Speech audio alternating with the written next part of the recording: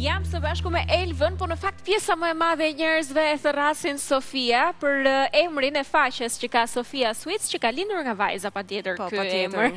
Mirë se erdhe. Faleminderit për ftesën. Ne sot do t'ju tregojmë një ide fantastike se si të shtroni ndoshta edhe në tryezën e vitit të ri, duke përdorur mafishet, si dekor, po edhe për ta shijuar, apo mund të jetë një ëmbëlsirë e thjeshtë gjatë dhjetorit që mund të preferohet shumë nga fëmijët po edhe të rriturit, në formën e bredhit, ja ku e keni, dhe janë mafishet, mafishet që kush nuk i do, por në këtë rast të gjelbra, të bukura me këtë model, me këtë formë. Mirë, ne bëjmë metodën më të thjeshtë për të bërë këto bredhat, ne këto do të bëjmë sot, çfarë na duhet? Atëherë, gjithmonë veza me sheqerin merren me raport dhe jo me kokrra vezë dhe të gjejmë sheqerin. Atëherë, në qofë se kemi 100 gram të bardhë veze, do të përdorim 200 gram sheqer. Dyfishin. Dyfishi i vezës. Sa i përket temperaturës? Veza duhet të jetë temperaturë ambienti. Mhm. Të paktën, veza duhet të jetë nxjerrë diku tek 4-5 orë përpara, ose dhe një natë është akoma dhe më mirë. Mhm. Faktikisht, e bardha e vezës duhet të jetë e vjetëruar i themi. Hmm. Që do të thotë, mirë është të ndahen dy ditë përpara oh, nga e verdha. Mhm. Do të thotë edhe t'i ndash edhe t'i po, lësh në të lihen në në frigorifer dhe ditën që ne do t'i përgatisim, atëherë i nxjerrim diku tek ah, 4-5 orë. 8 orë është mirë, është mjaftueshëm. E kuptova. Qoftë se do t'i gatuajmë uh, ditën, i nxjerrim një natë përpara, i lëmë në temperaturë ambienti, në kuzhinë. Nëse është e ftohtë, domethënë nuk është e saktë. Uh, jo se nuk jo se nuk përgatitet, por uh, nuk është ajo e duhura dhe mhm. gjithmonë do të ketë probleme pas pjekjes. E qartë. Dhe sheqerin e thamë që duhet dyfish. Po. Domethënë këto janë dy përbërësit kryesorë. Po. Do shumë pak kripë me majë të gishtave, mhm. dy pika limon, po, dhe pjesën e procedurës pastaj që do e tregojmë gjatë mm. rrugës. E nisim atëherë, ta shohim si do ta bëjmë. Me të bardhat. Kalojmë të bardhat. A do rrihen ato vetëm një herë? Vetëm e bardha e vezës, me pak kripë. Vetëm një majë gishti është për shumë. Po, po. Dhe më pas, limonin. Shumë pak. Dy pika, sa për një piksjen? Hmm, dy pika, vërtet dy pika. Shumë mirë. Rrahja do bëhet deri sa ato të bëhen shkumë. Ajo duhet të fillojë të krijojë shkumën. Mhm. Mos të ketë vezë të lëngshme në fund të tasit. Mhm. Dhe pastaj fillojnë E me sheqerin. Ja ta shohim pak me djemtë, me kamerën. Tani që kjo fillon edhe është mpiksur, fillojmë hedhim sheqerin shumë ngadalë. Kjo do disa minuta të mira që të vijë në formën e duhur. Kur e kupton që ka ardhur aty ku duhet për të bërë mafishet? Në sy, atëherë, të paktën. Me sy është, duket që e bardha vezës është mpiksur dhe është forcuar. Në të kundërt, kthejmë tasin, bëjmë atë provën e gjysheve tona, që kthejmë tasin dhe në qofë se nuk... Ma bën zonja Vjollca, të pamë, ma kthejmë përmbys tasin dhe unë them, okej, ra, jo, nuk ra, shpëtuam. Unë doja të provoja një nga këto në fakt, do marr këtë më të voglën që ta provoj. Po, ta provosh. Mm, të buta nga brenda. Po, sepse mafishja duhet të jetë... E mpiksur nga jashtë, krokante, po, dhe brendësia e saj duhet të jetë pak e butë. Wow, qenka shumë e mirë. Jo, jo. Kot nuk e lavdërojnë Elbën në çdo postim. Dhe mafishet, mm, ne e përdorim i pjekim, mafishes i bëhet tharje, jo pjekje.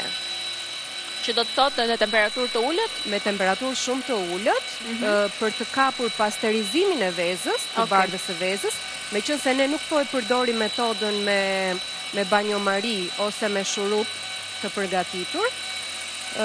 Që ishin metoda të tjera të përgatitjes së mafishes, ë? Po, që veza ë bën pasterizimin me temperaturën e shurupit ose në banjomari. E kuptoj.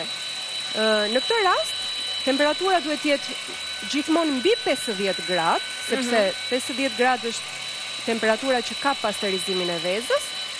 Në momentin që ne e kemi 60 gradë, 70 gradë furrën, atëherë jemi të sigurt që dhe pasterizimi është bërë dhe nuk ka rrezikshmëri. E kuptova. Të të konsumimit të saj. Po, sepse e dimë që veza është pak problematike mm -hmm. tek pjesa e e mikrobeve. Sa i përket ngjyruesit, ai i hidhet në fund fare. Në fund fare, po. Kuptova dhe më pas dekori. Gjithmonë ngjyrues ushqimor. Besoj tani që u hodh i gjithë sheqeri vetëm pak rrahje do dhe përfundon? Do tre deri në katër minuta rrahje pas hedhjes së sheqerit. Ne kemi metodën me sheqer kokërr sot, sepse është dhe ajo më e thjeshta për shikuesin. Por ka metodë me sheqer pluhur, por që makineria duhet të jetë shumë e fuqishme në këto raste, që të mos të Zbusi masën e vezës edhe të na shkrijë që mos mbaj formën. Ne do të jemi bashkë me Elvën sepse momenti i përfundimit të rrahjes së dy përbërësve kryesorë që ishin e bardha e vezës me sheqerin, dy pika limon dhe një majë gishtash me kripë po përfundon edhe pak minuta dhe do të shohim më pas se si do të bëhet procesi tjetër që është dekorimi dhe përgatitja e bredhave siç i pat këtu në tryezën tonë. Ja ta shohim edhe kështu. Mendoj që e bardha e vezës është mpiksur. Sa e bukur është. E kemi gati thua? Mendoj që po dhe do ta fikim për pak që të shtojmë ngjyruesin. Perfekt. Është goxha e mpiksur. E ngrejmë të lart, maja rri qëndron po, e mpiksur lart. Po, njësoj ruan formën, po. Shumë bukur.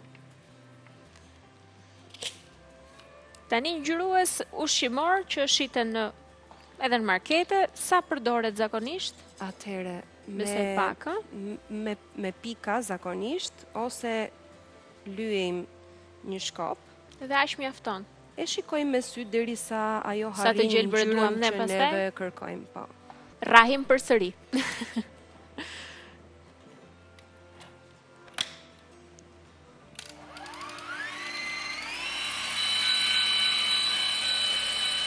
Do bëhen të bukura të gjelbra ashtu siç i shihni edhe në tryezën tonë dhe ju mund t'i imitoni. Elva po më thoshte që këto bredhat që janë në këtë formën të tillë pra të ngritur, ju mund t'i përdorni edhe në tryezë po, si dekor. Për dekorin e tavolinës. Për festat e fundvitit. Në çdo pjatë të secilit, vendosim pecetën dhe nga një bredh sipër. Shumë e bukur është si ide. Këto të voglat mund të bëhen edhe të mbushura, mhm. i çajmë nga, nga poshtë me një majë thike këtu, mhm. dhe i mbushim me çokollatë, kremra të ndryshme që preferojmë. Mirë, do marrim tani mjetet e punës. Patjetër. Për të bërë atë çka ne na duhet formën, formën e bredhit. Një besoj nga këto na duhet. Po, për formën e bredhit duhet vetëm njëra. Kjo bëhet për arsye që të mos lëvizi letra mm. nga tava në kohën që po punojmë.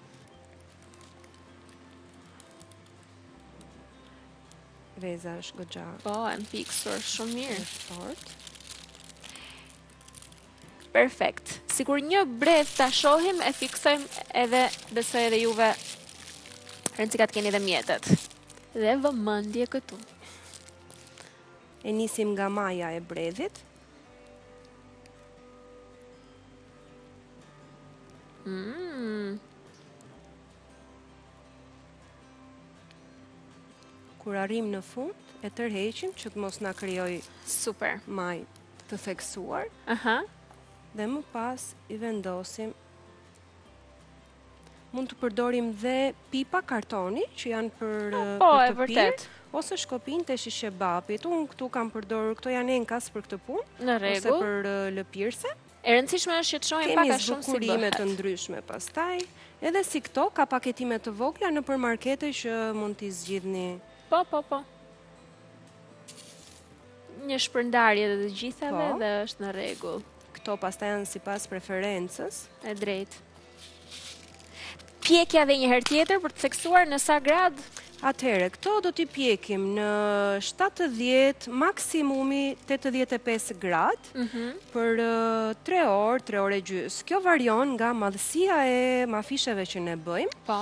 Sa më e madhe të jetë aq më shumë kohë do dojë për t'u tharë. Edhe mund ta kuptojmë lehtësisht kur është përfunduar pjekja? Atëherë, të sigurta janë 3 orë që pa i lëvizur mhm. dhe pastaj ne mund të marrim një të vogël, mund të bëjmë një demonstrim. Në fund të tavës po. vendosim një demonstrim të vogël kaq sa për të provuar neve nëse ajo është pjekur. E, e marrim gjatë gjatë kohës që ato janë. Pasi mbaron 3 orëshi, po. provojmë këto që janë më të voglat. Po, për të mos prishur pjesën e një që është dekoruar mirë e mirë. E këtyre që i kemi për për t'i përdorur. Elva të falenderoj pafund. Ishte shumë shumë shumë kënaqësi që të kisha në Shije Shtëpie dhe na tregove një nga ëmbëlsirat që ti bën në versionin më të lehtë.